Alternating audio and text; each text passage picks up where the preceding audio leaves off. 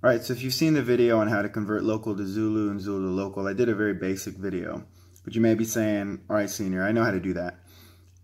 It's some of the other questions that I see either on practice exams or even the ones from your site that I just can't quite figure out. And I think I know what you mean, so I'm going to go ahead and bring up a question uh, from one of my tests. All right, before getting into a question, I just kind of wanted to show you guys a little behind the scenes here. Uh, we'll go into some of the quizzes that I have. Uh, we're going to go into this basics of time quiz. Uh, it's important that I want you guys to see that we need to know this stuff. Like most of these questions, some of the basic questions are coming from your rate training manual. And I threw in some more advanced stuff in there to challenge you. But let's look at some of these scores.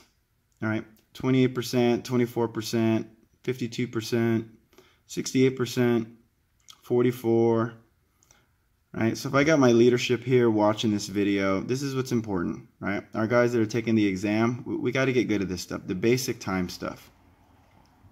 So let's bring up one of these questions. What is GMT if the zone time is 100? Uh, what is GMT if the zone time at 127 degrees 46 minutes west is 1945 on the 25th of September?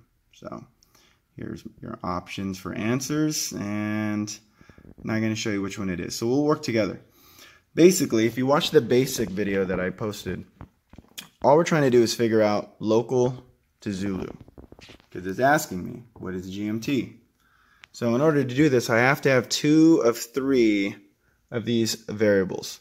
I know what the local is. It's in the question. I have to find out what the zone description is in order to get Zulu. And how do we do that? We have to take the longitude and divide it by 15. Divide it by 15 because there's 15 degrees in a time zone. now, uh, you can't just go in there and type in 127.46, right? You can't do that. You have to take the 46 minutes and divide it by 60. 46 divided by 60. And that gives you a decimal of a degree. 0.76, so on degrees. Right. If we add 127, this essentially is the same number. 127.7 yada yada yada is the same thing as 127.46. Once you divide this number by 15, you get 8.51. And here's the thing. if it's 0.51 or higher or 50001 and higher, you're going to round up to the next time zone.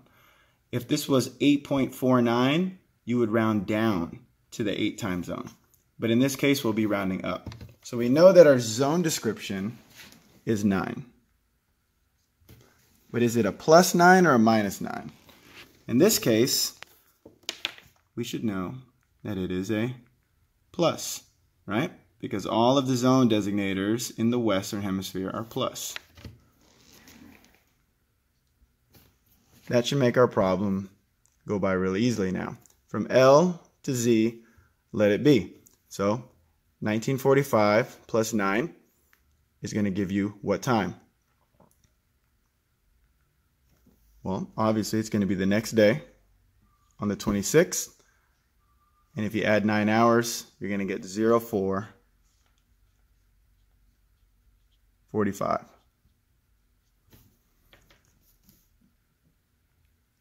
I hope that makes sense. Uh, the way that I always do math, and what helps me is I just add this straight up. Nine hours, 19 plus or 19 plus nine equals 28, and there's only 24 hours in a day, so 28 minus 24 gives you 04445. And if you have to subtract, that means you're going into the next day. And that is the correct answer, 0445 on the 26th. So hopefully uh, this helps somebody out. Uh, and again, if it doesn't make any sense to you, make sure you go back and you go watch the basic video. All right, that's all.